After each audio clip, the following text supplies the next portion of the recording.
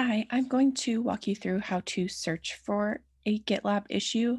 So the issue we're going to search for is uh, this test issue here that's part of this training. So I have GitLab pulled up and what I'm going to do is I'm going to search for this by searching for the text text searching for the text test issue.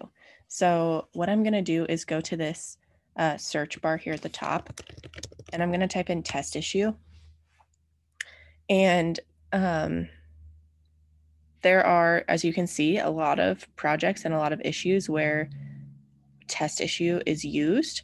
So I'll just click on this so you can see what happens, but it will give you a 500, 500 error because there are just too many to search through to be able to pull a list of them. Um, it's loading a little bit slowly, but it should give us a 500 error.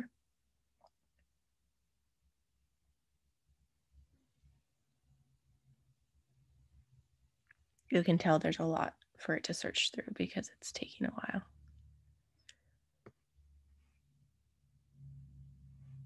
Okay, so 500 error. It basically timed out because there was too much um, to search through. So what we'll do is narrow it down to um, like the group that it's in or the project or both. So you're like, you may be looking or have seen this issue and you're like, I have no idea what group or project it's in.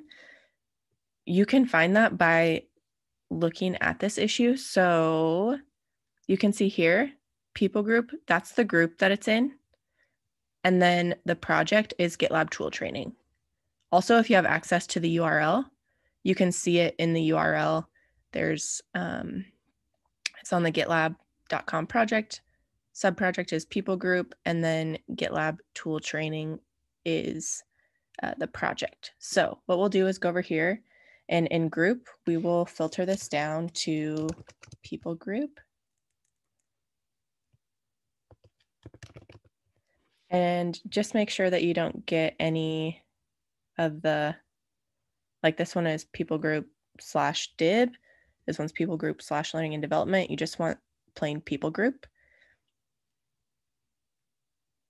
Because there can be additional subgroups under uh, the main group, but we're just looking for people group. And then you can see it narrows down the issues, merge requests, and things that have test issue in them. So we could pull this up and you can see what it looks like here. Um, but if we want to narrow it down even further to the exact project that this is this issue is in, we need to add GitLab tool training. So we'll go over here to project and type in GitLab. Okay, and it pops up right here, GitLab tool training. So I'll add this. And now you can see it's narrowed down to 32 issues. And then you can scroll through and find, see here's GitLab 101 test issue.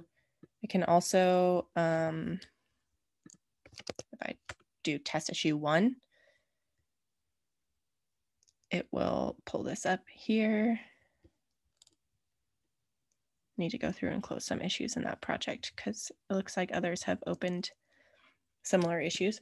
So um, that's how you can search for an issue and uh, be able to find it. Uh, if you search just in issues, you may not be able to find it as easily. It'll probably give you that um, uh, the timeout, the 500 error. But if you want to search through it by going here, you can.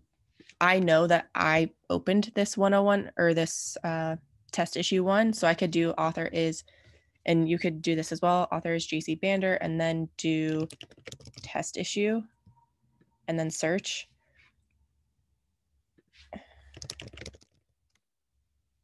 Okay, so now, uh,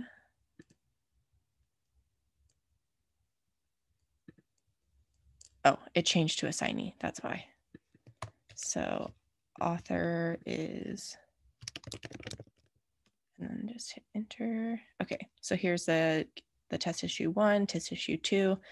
So you can see that they're pulling up here, but you just have to have more information than just uh, text that you're looking for, you have to know um, if you're searching from here, who the author is, who it's assigned to, um, and then if you're searching from this universal search bar, um, you need to know like what group or project it's in to help narrow down the search to find the issue.